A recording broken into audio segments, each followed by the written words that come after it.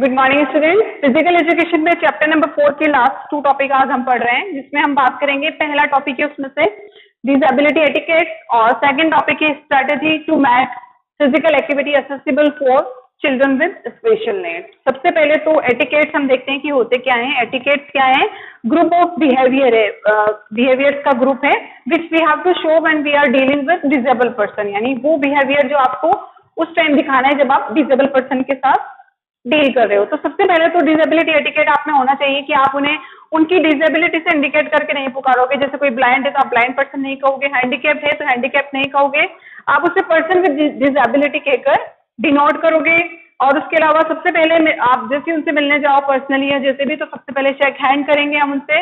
और इसके अलावा कोई ब्लाइंड पर्सन है तो आप उस, उस उसके सामने सबसे पहले अपने आप को इंट्रोड्यूस करोगे। आपके साथ कोई दूसरा है या और कोई बैठा हुआ है उन्हें इंट्रोड्यूस कराओगे।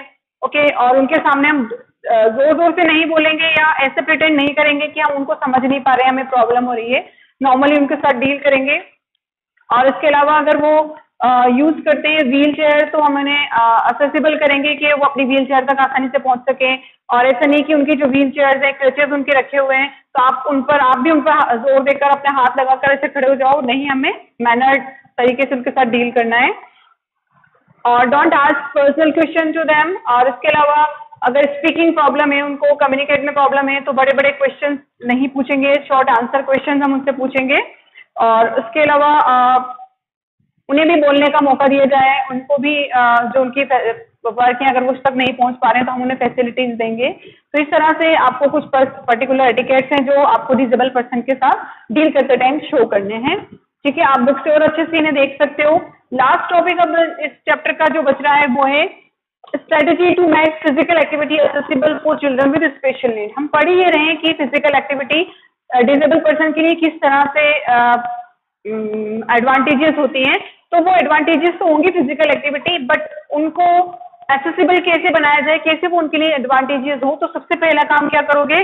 सबसे पहले आपको फ़िज़िकल एक्टिविटी में उनको लेकर आना है तो पहले उनका मेडिकल चेकअप कराएँगे हम डिजेबल पर्सन का कि ये मेडिकली फिट हैं क्या ये इस पर्टिकुलर फ़िज़िकल एक्टिविटी या गेम को अच्छे से परफॉर्म कर सकते हैं? उसके अलावा second activity must based on their interest उनके इंटरेस्ट उनके फ़िज़िकल एक्टिविटी को देखते हुए आप उन्हें गेम्स और फ़िज़िकल एक्टिविटीज़ जो है प्रोवाइड कराओगे। इक्विपमेंट मस्ट भी अकॉर्डिंग टू देयर नीड और जो इक्विपमेंट है पर्टिकुलर गेम um, में जो यूज़ होते हैं उनकी नीड के अकॉर्डिंग हो गए हम उन्हें मॉडिफाई कर सकते हैं। और प्रोवाइड स्पेसिफिक एनवायरमेंट उनको स्पेसिफिक एनवायरमेंट आप प्रोवाइड कराओगे ओके okay, जहाँ पर वो अपने तरीके से कंफर्ट होकर खेल सकें। उसके अलावा rules should be modify according to their need उनकी नीड के अकॉर्डिंग आप अपने गेम के रूल्स भी मॉडिफाई कर सकते हो। तो ये तो थे पर्टिकुलर दो लास्ट टॉपिक जो आज हमने क्लियर कर लिए। फोर्थ चैप्टर हमारा क्लियर होता है। जैसा कि मैंने आपको पहले भी कहा क्वेश्चन करने की ज़रूरत नहीं है। जो टॉपिक है जो मैंने पढ़ा है आप उनको एज इट इज़ अपनी कॉपी में लिख लो थर्ड और फोर्थ चैप्टर के लिए। नेक्स्ट हम नेक्स्ट टर्न से हम फिफ्थ चैप्टर स्टार्ट करेंगे ओके okay, उसके लिए आगे आपको क्या करना है नोट्स बनाने हैं क्वेश्चंस करने वो मैं आपको बता दूँगी। तब तक आप इसे नोट डाउन करो। Thanks for watching